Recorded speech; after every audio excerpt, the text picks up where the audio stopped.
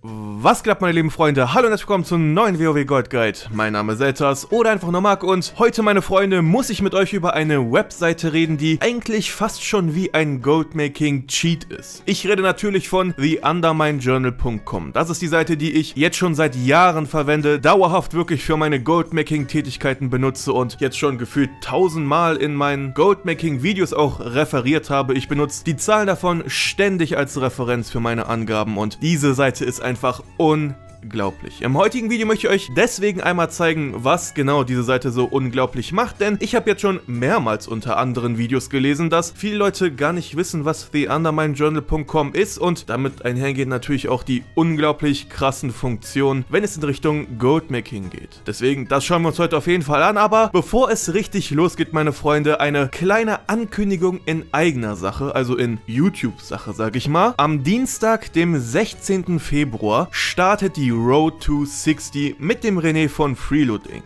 Ein paar, die vielleicht schon länger auf dem Kanal mit dabei sind, wissen in welche Richtung es in etwa bei unseren Road to 110 und 120 Folgen ging. Es ist so eine Art Leveling-Podcast, sage ich mal, in dem wir recht aktuelle News von WoW halt besprechen und teilweise uns auch einfach über manche Gaming-Themen allgemein auskotzen. Das verpackt mit ziemlich viel Lachen und ziemlich viel Spaß. Also ich muss sagen, die Road-Folgen waren bzw. sind jetzt wieder ziemlich mein Lieblingsprojekt immer auf diesem Kanal. Es macht einfach Spaß und deswegen, meine Freunde, schaut auf jeden Fall am 16. Februar hier auf dem Kanal vorbei. Da werde ich die allererste Folge mit dem René hochladen und sein Kanal ist jetzt auch der allererste Link oben in der Videobeschreibung. Schaut da auch vorbei, wir werden die allererste Folge auch aus seiner Sicht einmal hochladen, also gebt dem Jungen einfach mal Support, der hat es auf jeden Fall verdient. Wird richtig geil und bevor ich noch weiter um den heißen Ball rumrede, kommen wir mal zurück zum Thema theunderminejournal.com. Ich stell's euch jetzt erstmal vor.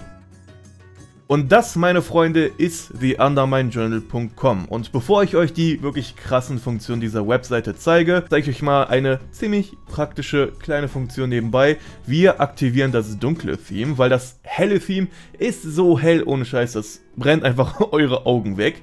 Das ist doch mal um einiges angenehmer, oder? Finde ich auch. So, wie ihr seht, auf der allerersten Seite gibt es schon tausende Sachen zu sehen. Hier links beispielsweise eine sehr interessante Sache für uns, die WoW-Marke, zurzeit bei 175.000 Gold, eigentlich ein ganz akzeptabler Preis. Aber das Interessante ist wirklich, wie ihr hier seht, ihr habt hier oben eine Auswahl von verschiedenen Servern. Jeder von uns spielt hier auf einem anderen, deswegen klicken wir da mal drauf. Ihr seht hier eine richtig große Auswahl zwischen den verschiedenen EU-Rams. Das gleiche gibt es auch natürlich für die US-Rams und ich persönlich spiele hauptsächlich ja auf Frall auf der Horden-Seite. Das wissen ja mittlerweile schon ein paar und deswegen gucken wir uns auch mal die Preise für das Video hier einfach mal auf dem Server an. Wenn wir jetzt mal hier unten links schauen, sehen wir häufigste Items und potenzielle Schnäppchen. Diese Funktion kann recht praktisch sein. Ich persönlich benutze die nicht so wirklich häufig, aber man kann vielleicht so eine kleine Übersicht bekommen, was vielleicht im Auktionssatz ist, was für euch interessant ist und dann vielleicht auch noch unterm Normalpreis natürlich ist. Aber wenn wir jetzt mal auf die rechte Seite hier schauen, diese Schnäppchenfunktion gibt es tatsächlich auch hier, bei den ganzen verschiedenen Reitern, die ihr hier sehen könnt. Gehen wir jetzt mal auf Schnäppchen, dann dann sehen wir schon einen ziemlichen Haufen an Items. Also hier sieht man wirklich alles von Rüstung und Waffen, teilweise noch Her ja, seht ihr das? Hergestellte Rüstung und so weiter und so fort. Also das ist in Rezepte unterteilt, häufige Rezepte, nicht so häufige Rezepte, Consumables und so weiter und so fort. Ihr könnt wirklich eine Übersicht zu tausend verschiedenen Schnäppchen in Anführungszeichen haben. Ob es wirklich Schnäppchen sind, müsste man dann wirklich ein bisschen recherchieren. Beispielsweise hier diese Leichtkiel Harnisch wie ihr seht, hier zurzeit auf 555 Gold gedroppt bei mir, Durchschnitt 2,2 und regional 22.000. Müsste man halt wirklich mal schauen, ist das ein Schnäppchen. Aber wie man das macht, das zeige ich euch gleich erst. Wir gehen erstmal zurück. Eine viel interessantere Sache sind beispielsweise die ganzen Übersichten zu den Berufen. Schmiedekunst, Lederverarbeitung, Schneiderei, Kräuterkunde, Bergbau, Kirschnerei, alles, was ihr wirklich euch irgendwie erdenken könnt, berufemäßig, seht ihr da rechts aufgeführt. Diese Übersicht ist wirklich die Funktion, mit der ich sehr sehr, sehr viel in meinen Videos arbeite. Beispielsweise habe ich ja mal in einem Video darüber geredet, wie die Kräuterpreise zum Beispiel zurzeit in Shadowlands einfach immer weiter droppen und wie low die teilweise schon sind. Hier geht ihr dann einfach rechts auf den Reiter Kräuterkunde, klickt drauf und zack, ihr habt halt schon eine Übersicht zu jedem Kraut oder was auch immer. Hier sehen wir beispielsweise alle Kräuter aus Shadowlands, die Witwenblüte, Markwurzel und so weiter und so fort. Dann, was halt unglaublich praktisch ist, ihr seht den aktuellen Preis, also das ist der niedrigste Preis, zu dem es zurzeit im Auktionshaus ist. Dann der Durchschnittspreis, der sich, glaube ich, aus den Daten aus den letzten paar Wochen und Monaten errechnet. Ich glaube aber in dem Fall eher 30 Tage. Nagelt mich nicht drauf fest. Es ist auf jeden Fall ein sehr praktischer Durchschnitt. Man kann sich da wirklich sehr gut orientieren. Und wie ihr seht, es gibt die Übersicht auch für BFA und so weiter und so fort. Also es ist super praktisch. Gehen wir jetzt mal von dem Fall aus, dass wir uns zum Beispiel den Preis von Nachtschatten wirklich mal im Detail anschauen wollen. Dann ganz einfach, geht auf den Nachtschatten, klickt drauf und ihr kommt in eine wunderbare Übersicht. Und im ersten Moment mag das euch vielleicht ein bisschen überfordern. Da sind wirklich super viele Daten zu sehen, aber wir schlüsseln jetzt erstmal die wichtigsten Funktionen Stück für Stück auf. Hier oben links seht ihr eine grobe Übersicht über die aktuellen Daten vom Nachtschatten. Auf Frei beispielsweise befindet sich der Preis zurzeit bei 40 Gold 95, das ist immer so der billigste Preis, der zurzeit im Auktionshaus ist. Dann gibt es einen Medianpreis für meinen Server, der bei 42,91 liegt, einen Durchschnittspreis und so weiter und so fort. Und interessanter ist natürlich der Preis in Bezug auf den EU-Raum, weil der uns gute Zahlen gibt im Durchschnitt bzw. im Median, wenn es darum geht, Daten von Low-Pop-Servern und High-Pop-Servern zum Beispiel auch nochmal mit unter einen Hut zu bringen. Hier seht ihr, er berechnet einen EU-mittleren Preis von 60 Gold 33. Das heißt, um jetzt beispielsweise eine kleine Schlussfolgerung zu ziehen, Frall liegt gut 20 Gold unterm Median. Das heißt, Nachtschatten ist wirklich so um den Dreh goldmäßig was wert, aber weil Frall halt ein relativ gut besuchter Server ist, ist der Preis natürlich etwas niedriger. Es gibt mehr Leute, die zocken und es gibt natürlich auch mehr Nachtschatten dadurch auf dem Markt. Gucken wir jetzt mal nur ein bisschen weiter runter, sehen wir die Momentaufnahmen und diese bieten schon eine sehr gute Orientierung, wenn es darum geht, okay, wie hat sich das Item innerhalb der letzten zwei Wochen verändert? Preislich gesehen und auch bei der Menge. Der blaue Graph, den ihr hier seht, der spiegelt die preisliche Entwicklung wieder, wie hat sich das preislich innerhalb der letzten paar Tage entwickelt und der rote Graph zeigt wiederum, wie viele Nachtschatten es denn da zurzeit im Auktionshaus gab. Und oft kann man schon anhand von dieser Entwicklung sehen, wie sich Menge und Preis beeinflussen. Wie ihr seht, teilweise sieht man da schon Tendenzen, wenn es weniger Nachtschatten gibt, dann spiked auch der Preis und das kann natürlich auch andere Konsequenzen haben. Leute, die Nachtschatten vielleicht rauskaufen oder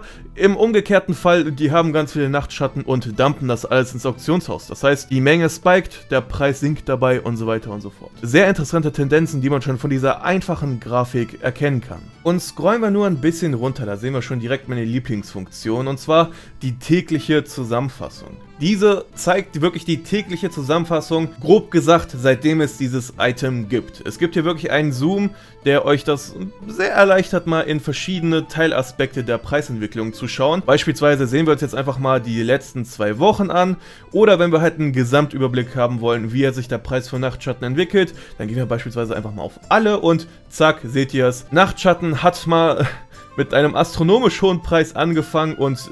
Äh, Wahnsinn ist. Es geht halt einfach immer weiter runter, wie ich euch auch damals in dem Video erzählt habe. Und ihr könnt einfach von Punkt zu Punkt gehen und da seht ihr natürlich auch diese kleine schöne Übersicht, wie sich der Marktpreis entwickelt hat, der Regionalpreis in Relation dazu und dann auch die Menge und so weiter und so fort. Also unglaublich praktische Funktion, wenn ihr einfach diese Preisentwicklung haben wollt, um dann noch Tendenzen zu erkennen. Es ist ja immer wichtig, eine Übersicht zu haben, wie hat sich dieses Item entwickelt, lohnt sich eine Investition und so weiter und so fort. Ne? Das ist jetzt natürlich Nachtschatten, den gibt es noch nicht nicht so lange, wie ihr seht. Das ist seit im Prinzip Shadowlands Release. Wir schauen uns jetzt gleich mal ein interessanteres Item an, was es schon viel länger gibt und dann seht ihr mal, wie so eine Preisentwicklung wirklich über Jahre aussehen kann. Und hier sind wir wirklich bei einem All-Time Classic, dem Arkan-Kristall. Der kommt ja wortwörtlich aus Classic. Ein Item, was über sehr lange Zeit einen sehr stabilen Preis halten konnte, einfach aufgrund des Nutzens, den dieses Item hat. Arkan-Kristall bzw. der Arkanit-Barren sind für sehr viele Sachen zu gebrauchen, aber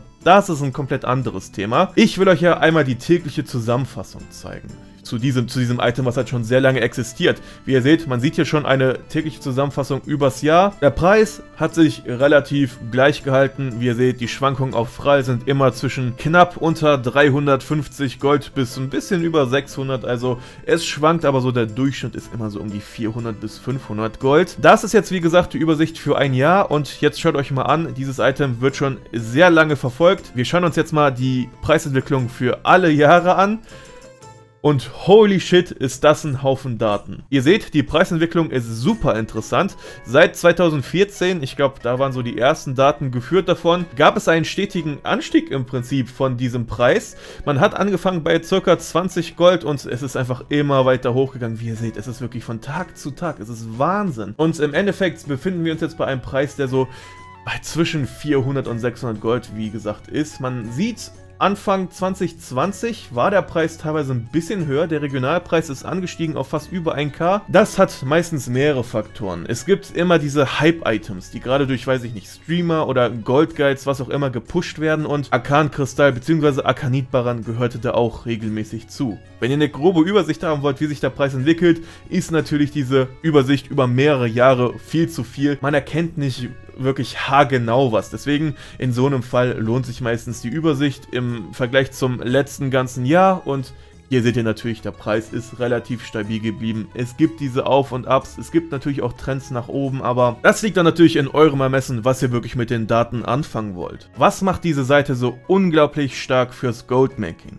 Naja, es ist einfach diese unglaubliche Menge an Daten. Historische Preise, aktuelle Preise, die ganzen preislichen Entwicklungen. Ihr könnt wirklich jedes Item zum Vergleich anschauen. Ihr könnt damit auch teilweise Ideen sammeln, was ihr vielleicht gerade im Goldmaking machen wollt. Ich persönlich gehe beispielsweise gerne mal so in den Reiter Kräuter rein oder auch mal Erze um, einfach mal Ideen zu sammeln. Okay, was könnte ich jetzt vielleicht gerade farmen? Oder ich habe gerade ein Item, was ich sehr interessant finde, beispielsweise irgendwie glorreiche Beinplatten oder was weiß ich. Und da wollt ihr einfach mal eine Übersicht haben, okay, wie viel ist das eigentlich wert, wie viel ist das historisch gesehen wert und so weiter und so fort. Und damit könnt ihr einerseits potenzielle Schnäppchen finden, ihr könnt euch angucken, okay, ist dieses Item wirklich so viel wert, wie es da gerade steht oder lohnt es sich das zu kaufen und so weiter und so fort. Ihr könnt einfach super intelligent im Goldmaking reagieren. Es ist ein unglaublicher Vorteil zu den Leuten, die diese Seite vielleicht nicht verwenden. Und ja, meine Freunde, das war theunderminejournal.com. Wirklich meine Lieblingsseite, wenn es um Skirtmaking geht. Einfach nur unendlich viele Vorteile, die diese Seite hat. Nutzt es aus. Ich verlinke sie euch natürlich unten in der Videobeschreibung auch. Wenn diese Thematik euch wirklich interessiert, schaut da rein, guckt euch mal ein paar Items beispielsweise an und nutzt diese Seite. Es gibt so viele Daten in einer sehr übersichtlich komprimierten Version. Es ist einfach, wie gesagt, ein Cheat fürs Goldmaking. Aber, falls ihr noch kein Abonnent von diesem Kanal hier sein solltet, meine Freunde, dürft ihr das natürlich auch noch auch sehr gerne nachholen. Ich würde mich wirklich darüber freuen. Euer Support in den letzten Videos ist wirklich Wahnsinn. Ich glaube, mit der ganzen Road-Sache können wir noch eine richtig coole Sache, auch ein bisschen out of Goldmaking dazu starten. Ich würde mich deswegen sehr über euren weiteren Support freuen. Wie gesagt, falls ihr noch kein Abonnent sein solltet, holt das sehr gerne nach. Und falls euch das Video im Allgemeinen gefallen haben sollte, dürft ihr natürlich auch noch sehr gerne einen Daumen hoch da lassen und folgt mir auch auf Social Media und vor allem auf twitch.tv slash Gaming für Livestreams. Ich habe tatsächlich in den letzten Tagen auch mal gelivestreamt. Wahnsinn, ich weiß. Und das wird jetzt definitiv auch nochmal öfters vorkommen. Und joint auch meiner Battle.net-Community und auch meinem Discord-Server, wenn ihr rund um den Kanal immer auf dem neuesten Stand sein wollt. Links dafür gibt es natürlich wie immer unten in der Videobeschreibung und mal wieder vielen Dank fürs Zuschauen, Zuhören, was auch immer meine Freunde. Tschüss und haut da rein.